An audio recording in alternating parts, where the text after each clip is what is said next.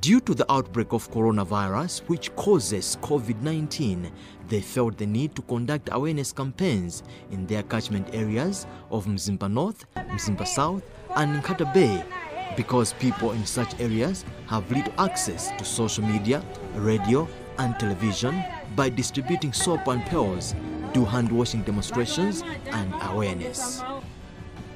But this was aimed at driving away the misconception and myth about coronavirus and inform people about the preventive measures.